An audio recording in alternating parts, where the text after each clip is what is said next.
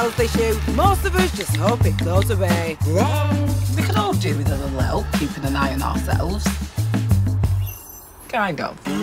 That's why, over the next year, Channel 4, together with Benenden Health, are asking the nation to check in on their health. So let's stop being so British about it!